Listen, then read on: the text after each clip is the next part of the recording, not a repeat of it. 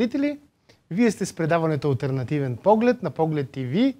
Предаването, в което си казваме точно това, което мислим, без да обмисляме последствия, защото сме посветени на едно – да търсим истината, да се опитваме да открием по всякакъв начин, защото сме така наивно убедени, че чрез истината човек наистина става свободен.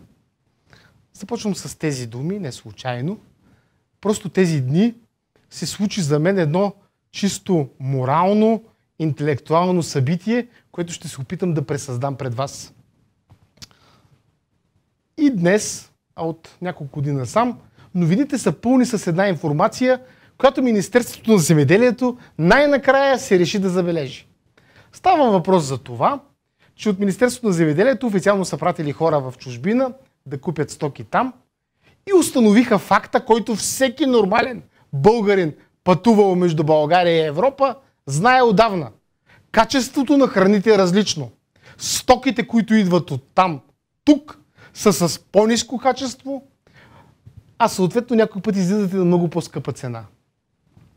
А, с години тази тема се покриваше, с години тази тема се марганализираше, с години към тази тема се отнасяха като към със световна конспирация, до днес вече е факт. Имаме някакво, макар и елементарно потвърждение, въпреки че не е ясно какво прави държавата след тези изводи.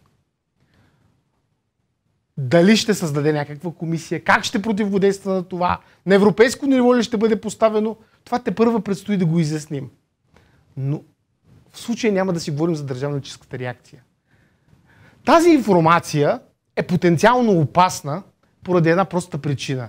Тя разбива мита за единството, пазарното единство на западната цивилизация, тъй като, нали, когато дойдоха тук нашите нови морални хунвебини, които дойде са задръстили медиите, постоянно се опитват да ни обясняват как ние сме тяло в тяло и дух в дух в западната цивилизация – само, че тази тяхна теза нещо не се покрива утвърдението, че западната цивилизация или големите концерни на западната цивилизация изсипват тук отпадъчното си производство и не дърят по три кожи за него. Което е съвсем нормално. Това е природата на капитализма. Да се опиташ да направиш производството си безотпадъчно. Само, че понези унези другите на Запад са свикнали да бъдат изискващи потребители към производителите, то големите концерни много хитро разбраха, че източна, източна Европа е пазарът, който те могат да продадат всичко, стига да е в лъскава опаковка и стига да има едно голямо количество самодоволни сноби, които трескаво да крещят за евроатлантическа солидарност и пет пари да не дават за нищо друго. Тези мои размишления са предизвикани от следния факт. Във Фейсбук с удивление попаднах на хора, които яростно и трепетно отричаха очевидните изводи, че качеството на стоките е различно. Не само го отричаха, опитваха се да го иронизират, търсиха някакви псевдонаучни доказателства, за да оспорят тези изводи, макар че е достатъчно да оставите един човек да се храни с стоки в България и да се храни с стоки от Западна Европа, с храни от Западна Европа и само след 2-3 години да видите разликата в физическото състояние. Но това ще го оставим като отделен проблем. Та същите тези евроатлантически джихадисти, сега почнаха да ни обясняват как това не може да е вярно, как това е поредния балон, как това било патриот, патриотична страст. С удивление видях, че тази евроатлантическа плява е готова да дъвче ГМО, готова е да се трови, въпреки че тайно подозирам, че те знаят, че е истина и сигурно си търсят продукти от някъде другаде. Готова е да набива сено, стига да е докарано от Франция. Или стига да има на него марка, че е произведено в САЩ. Тия същите са готови да ядат субпродуктите на западната цивилизация, само и само да имат повода да пишат с възторг как видите ли принадлежат към евроатлантическата общност. И това е потрясаващо. Това вече е синдром на слугата, докаран до някакъв абсурд. Това е синдром на слугата, който е повярвал, че това е най-висшата професия в тази вселена. По дяволите тук даже не говорим за ценности, тук не говорим за политика, тук дори не говорим за някаква идеология. Става въпрос за възможността да отбраняваш собствената си страна и правото на хората в собствената си страна да потребяват качествени стоки, а не да бъдат залъгвани с, с букуците на западния свят, които биват продавани даже и на по-скъпи цени, отколкото там. Как да просперираш напред?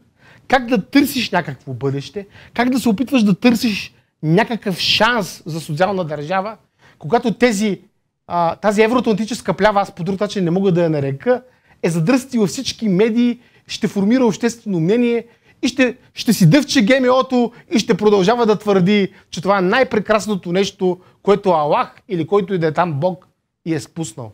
Не можех да повярвам. Този слугински менталитет има много други измерения, но тук го виждаме в най-първичния му блясък, в най-ужасяващата му форма, в най-чудовищното му измерение. Ти да откажеш да повярваш на нещо очевидно и да продължиш да настояваш за правото да преживеш букуци. Не знам.